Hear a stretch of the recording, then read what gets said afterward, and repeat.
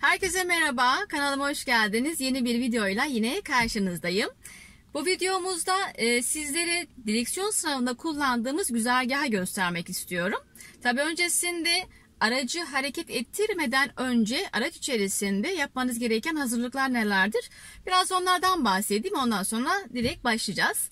Araca bindik, e, koltuğa oturduğumuzda Öncelikle koltuk ayarınızı yapın. Çünkü her aday kendine göre ayarlayacağı için siz de bindiğinizde koltuğunuzu önce kendinize göre ayarlayın. Sırtınızı ayarlarken 90 derece olacak şekilde açıyı ayarlayalım. Şöyle. Daha sonra e, koltuğu ileri geri hareket etmek istiyor e, hareket ettirmek istiyorsanız bir elimiz direksiyonda, diğer elimizde Kolu kaldırdıktan sonra öne ya da arkaya hareket ettirerek kendinize göre ayarlıyorsunuz. Kolumuzu uzattığımızda bileğimiz direksiyonun 12 noktasına değiyorsa koltuk ayarınız iyi demektir. Tabi debriyaj pedalına kontrol edin. E, rahat basabiliyor musunuz? Pedala basarken bacağınızın çok fazla gerilmemesine dikkat edin. Koltuğumuzu ayarladık. Hemen emniyet kemerini takıyoruz. Emniyet kemeri, kırmızı madde sakın unutmayın. En önemli şey emniyet kemeri. Emniyet kemerini taktıktan sonra debriyaja basarak neden bunu özellikle söylüyorum? Sarı madde. Debriyaja basarak tabi vites boşta ama kontrol edin. Vites boşta arabayı çalıştırıyoruz. Aracı çalıştırdıktan sonra önce aynaları bir kontrol edin. Aynalarınızı da mutlaka kendinize göre ayarlıyorsunuz. Sağ ve sol aynayı. Orta aynayı da mutlaka arkayı rahat görebilecek şekilde ayarlıyorsunuz. Kalkış yapacağımız zaman sol sinyal, kalkış sinyalimizi yakacağız. Sinyal vermeden kalkış yaparsanız kırmızı madde sınavınız sonlandırılır. E, ayna kontrolü çok önemli. Yola çıkmadan önce gelen trafiği kontrol edin. Vitesi 1'i aldıktan sonra da mutlaka el frenini indirin. Eğer el frenini indirmeden hareket etmeye çalışırsanız sarı madde. Sarı maddede e, iki sarı maddede sınavınız sonlandırılır. E, el frenini indirmeyi unuttunuz. E, bir sarı madde alırsınız. Sınav devam eder. Ama sınav esnasında ikinci yapacağınız sarı maddede sınavınız sonlandırılır. Evet bu e, hazırlıkları unutmuyorsunuz arkadaşlar. Sol sinyal vitesimizi bir alıyoruz. El frenini indiriyoruz ve yolu kontrol ederek e, sınavımızı başlatıyoruz. Evet arkadaşlar e, başlayalım. Sol sinyali açtık. Vitesimiz bir de el frenini indirdik. E, aynadan bir yolu kontrol ediyoruz. Direksiyon çevirirken bakın arkadaşlar önümüzde bir araç var. Önce direksiyonu çevirelim. Yani sağ elimizle şu şekilde direksiyonu biraz çevirdik. Yolu tekrar kontrol ediyorum. Yavaşça çıkışımızı gerçekleştiriyoruz. Bir kez daha aynaya bakmayı unutmayın. Şimdi sol elimizle direksiyonu düzeltmeye başlıyorum. Araç şeride girdikten sonra direksiyonumu düzelttim.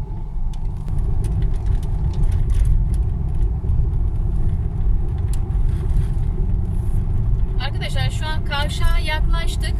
Ee, şu an yol hakkı bizim ana yoldayız ama e, biraz yavaşlayıp kontrollü bir şekilde geçmemiz daha iyi olacak. Sınav süreniz e, 35 dakika. Arkadaşlar süreye dikkat edin. Zamanı iyi kullanın. Zaman dolarsa 35 dakikayı aşarsanız kalırsınız.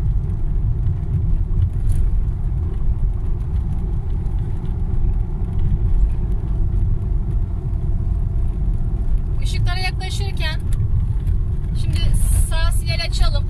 Sol şeritteyiz çünkü sol şeridi fazla işgal etmeyelim. Sağ şeride geçip duracağız. Sinyal zaten kapattık. Öndeki araca çok fazla yaklaşmayın. Işıklarda durduğunuzda e, bir 4 metre olacak şekilde 4-5 metre aralıklı durabilirsiniz. Işıklara dikkat edin.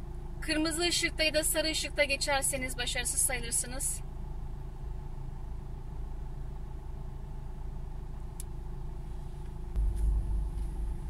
Kalkış yaparken vitesi bir almayı sakın unutmayın.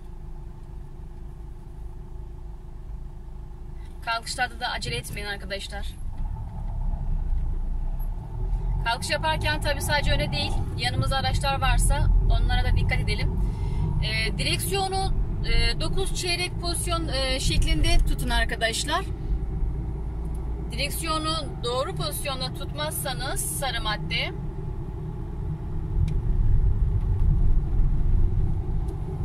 Kavşaklara gelince dikkat edin. Sağ solu kontrol edin mutlaka. Uzun süre sol şeridi işgal etmeyin. Ee, sol şeridi uzun süre işgal ederseniz kırmızı madde mümkün olduğunca sağdan gidin. Zaten çok hızlı gitmeyeceğiz. Hız sınırımız 50. 50'ye geçirmeyeceksiniz. Sollama yapmak istediğiniz zaman sol şeridi kullanacaksınız. Mesela şu an bir, e, sol sinyal vermem gerekiyor. Çünkü biraz sola kayacağım. Sinyali kapatıyorum. Tekrar sağ sinyal açıp sağa doğru yanaşıyorum. Önde bir araç var, motor var. O yüzden hızımı hemen düşürüyorum. Çok fazla yaklaşmayın. Zaten kırmızı ışık yandı. Fazla hızlamamıza gerek yok.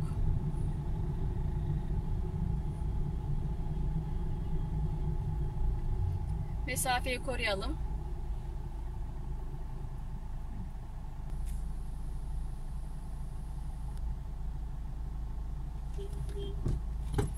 Evet yeşilde yine hemen kalkış yapalım.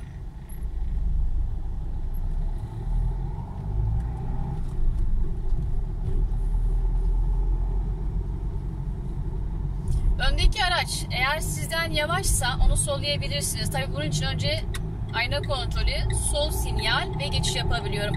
Bakın ee, kesik kesik olan çizgilerde sollama yapabilirim ama düz çizgilerde sollama yasağın olduğu yerlerde çiz, e, şerit değiştirmeyelim.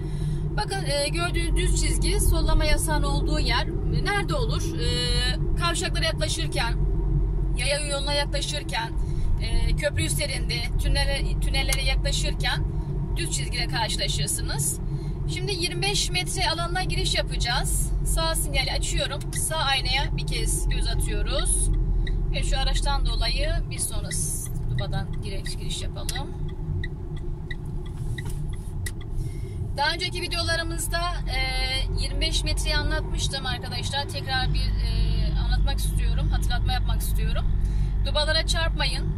Kaldırıma çarpmayın. E, yerdeki sol tarafta beyaz şerit çizgisine teker temas etmesin.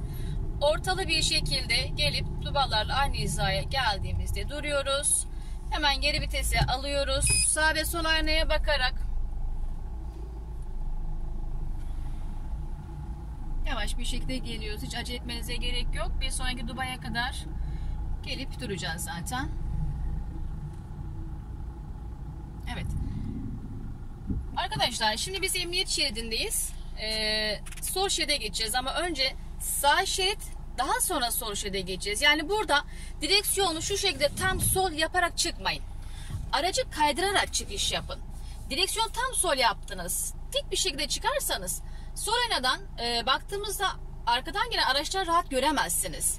Sol sinyali açtık. Vitesimiz birdi.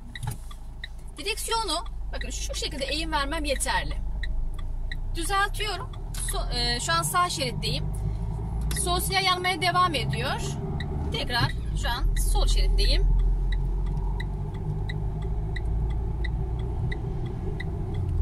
Evet yeşil ışık yandı. Burada biraz hızınızı düşürün. Göbeğe çok hızlı girmeyin. Göbeğe çok da yakın girmeyin arkadaşlar. Direksiyon çok çevirmeyin burada. Direksiyonu sağ elimizle bakın çok fazla çevirmedim. Hafif biraz yolu ortalayacak şekilde kullanıyorum. Şu an tekerler zaten solda. Kırmızı ışık olduğu için durdum. Sol sinyalim yanmaya devam ediyor. Dönüş yapacağım zaman hemen direksiyonu çevirmeyin. Sol tarafınıza araç olabilir. Hareket ettikten sonra evet yeşil yandı hareket ediyorum. Araç olursa araç durumuna göre direksiyona yön verebilirim. Evet şu kadar çevirmem yeterli. Biraz düzeltme yapıyorum ve durduruyorum. Sinyali artık kapatabilirim. Dönüş bitti çünkü. Düz devam edeceğiz.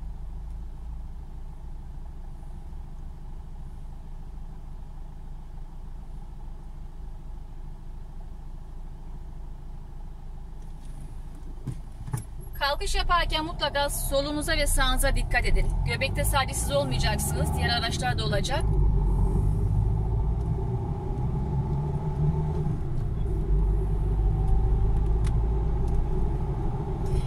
Ee, araç şerit içerisine gezmesin. Düz gitmeye dikkat edin. Orta çizgiye çok yaklaşmasın arkadaşlar. Direksiyon hakimiyeti önemli. Eğer direksiyon hakimiyeti zayıf olursa mesela çok sağa sola gezerek giderseniz kırmızı madde başarısız sayılırsınız. Arada bir e, sol aynadan arkayı takip edin ya da orta aynadan arkanızdaki aracı takip edin. Evet kırmızı ışık yanıyor. Artık yavaşlamaya başlayın. Yeşil ışık yandı. Yalnız e, öndeki araçlar henüz hareket et, etmediği için çok hızlanmıyorum. Onlar hareket etti. Evet ben de bu şekilde devam edebilirim. Durmama gerek kalmadı. Yeşil yansa bile öndeki araçların e, hareketi önemli. Gittiler mi? Duruyor mu? De, durmaya devam ediyor mu? Bunlara dikkat edin.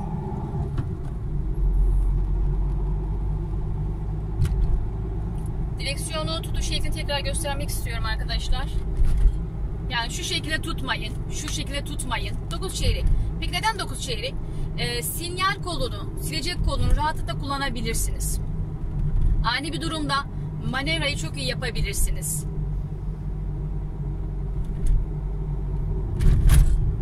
Kavşağa geçtikten sonra sol şeridi kullanacağız. Sol sinyali açtım.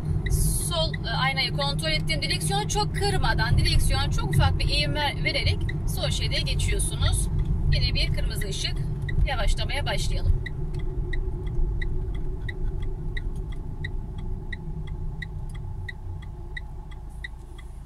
Sinyaller önemli. Dikkat edin. Sinyalleri unutmayın. Şerit değiştirmelerde ayna kontrolü önemli. Unutmayın. Araçlarla aranızdaki mesafeye dikkat edin. Çok fazla yaklaşmayın.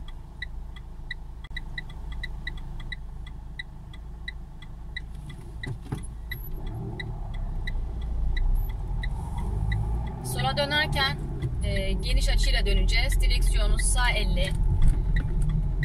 Bu kadar çevirmemiz yeterli. Tekrar direksiyonu düzeltiyoruz ve yanlardan 9 çeyrek şeklinde pozisyona tutacağız.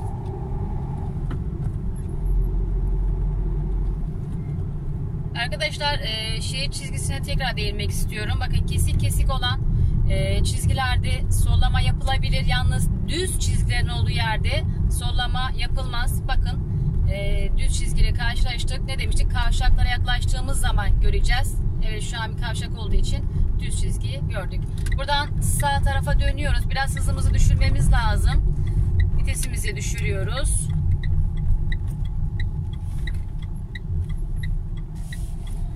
Park alanına yaklaşıyoruz. Park alanına yanaşırken mutlaka sağ sinyali açık tutalım.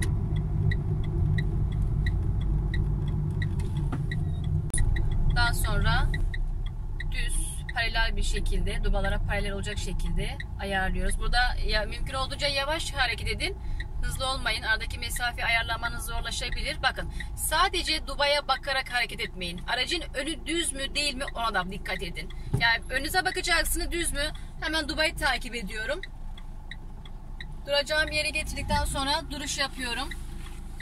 Direksiyonu arkadaşlar direksiyonu sol elimle tam sağ çeviriyorum. Sonra geri vitesi alıp parkımızı yapacağız. Parkı detaylı bir şekilde daha önceki videomuzda anlatmıştım arkadaşlar. Kafanıza takılan bir yer olursa e, paralel park videosunu açıp tekrar izleyebilirsiniz.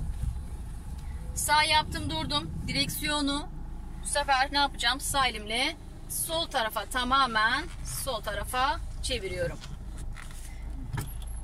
Parkımızı yapalım şimdi. Dubalara çarpmayalım. Park sensörünü dinleyelim. Arkada yer var mı yok mu? Evet. Bu sesi duyduk mu zaten artık daha fazla geri gitmeyeceğiz. Parkımız tamam. Park yaptıktan sonra direksiyonu hemen bir buçuk daire çevirip düzeltiyoruz. Çıkış yaparken sol sinyal önemli unutmayın. Direksiyonu yine sağ elimle tamamen sola çeviriyorum. Yolu kontrol ediyorum.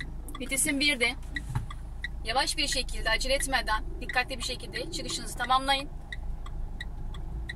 Aracın burnu çıktıktan sonra direksiyonu bakın sol elimle avuç içi aracın hızını arttırmadan çıkış yapıyorum. Tekrar direksiyonu şu şekilde düzeltip duruyorum.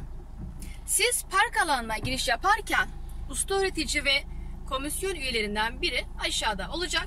Siz parkı tamamladınız. Çıkış yaptıktan sonra durup komisyon üyesiyle usta öğreticiyi aldıktan sonra sol sinyal yakıp arkayı e, yolu kontrol ettikten sonra kalkışınızı yapıyorsunuz. Kalkış yaptıktan sonra sinyali kapatabiliriz. Paralel parktan çıktıktan sonra L parka yanaşıyoruz. Sağ sinyali açalım. Önce sağa doğru biraz yanaşıyoruz. Daha sonra direksiyonu düzeltelim. Ortalı bir şekilde girmeye çalışalım.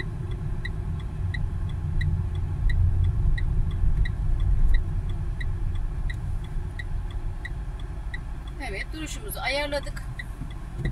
Direksiyonu arkadaşlar ne yapacağız? Direksiyonu sağ tarafa hemen sol avuç içiyle tamamen çevirdim. Aynaları kontrol ederek hatta aynalarınızı biraz indirebilirsiniz dubaları rahatlıkla görmek için. Girişimizi yapalım.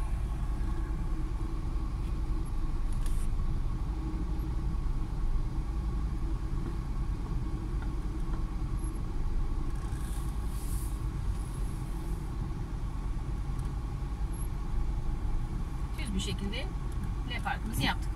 Evet şimdi çıkacağız. Ee, önce sağ sinyal, omuz üstü e, yolu kontrol ediyorsunuz.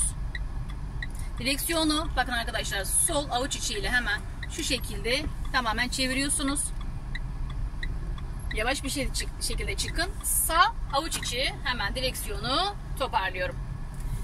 Burada da aynı şekilde paralel parkta olduğu gibi e, usta öğretici ve komisyon üyesini aldıktan sonra sol sinyalle kalkış yapacaksınız. Aynaları da hemen düzeltelim. Aynaları düzeltmeyi unutmayın. Sol sinyal verip kalkışımızı yapıyoruz. Sinyali kapatalım. Sağ dönüş yapacağımız için sağ sinyal. Dur levhası olduğu için arkadaşlar burada yolu görecek şekilde duruyoruz. Yolu kontrol ettik. Araç yok. Çıkışımızı yapıyoruz.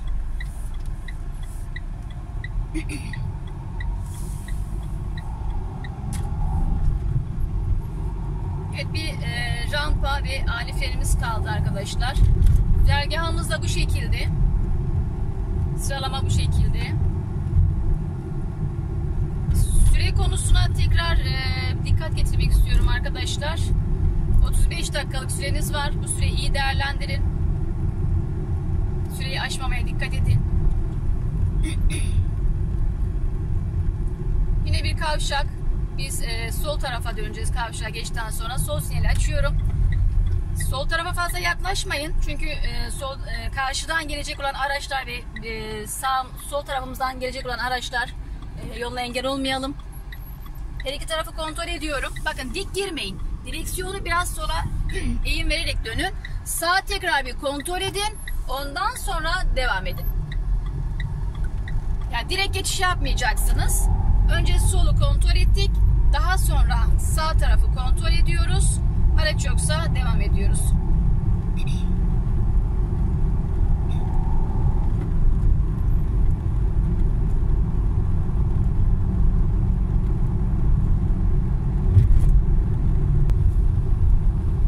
Rampa alanına yaklaşıyoruz. Önce sağ sinyal açalım. Sağ aynayı da bir kontrol ediyorsunuz. Artık aracın hızını düşürmeye başlayalım.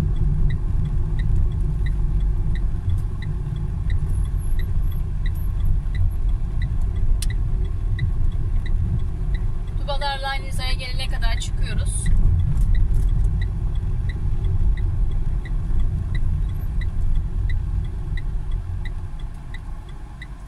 Sol kalkış sinyalimizi açtıktan sonra aracı geri kaçırmadan kalkışımızı yapıyoruz. Arkadaşlar e, rampa, e, ani fren, L park, paralel park bunları ayrı birer videoda paylaşmıştım. Şimdi o yüzden çok fazla ayrıntıya girmiyorum. Sola dönerken arkadaşlar çok dar değil. Sağ elimizle biraz çevirdik. Burada duruyoruz. Çünkü dur levhası var. Yolu kontrol ediyorsunuz. Şimdi biz direksiyonu sola çevirdik. Tekerler şu an solda. Hemen direksiyonu tekrar çevirerek kalkış yapmayın. Önce hareket edin. Gerekirse çevirin. Zaten sola geniş açıyla döneceğiniz için bu yeterli olacak. Tekrar yolu kontrol ediyoruz. Biraz daha çevirdim. Bakın yeterli. Döndükten sonra sağ şeritte kalmam gerekiyor. Hemen sol avuç içiyle direksiyonu düzeltiyorum. Şimdi de ani fren alanına geleceğiz. Hızımız 30 kilometre. Arkayı kontrol ettik. Araç var mı? Yok. Dubalarla aynı hizaya gelince ani fren yapacağız. Ani fren sonrası hemen sol sinyal açıyorsunuz. Vitesinizi de kontrol edin arkadaşlar unutmayın. Yolu kontrol ettik. Çıkışımızı yapıyoruz.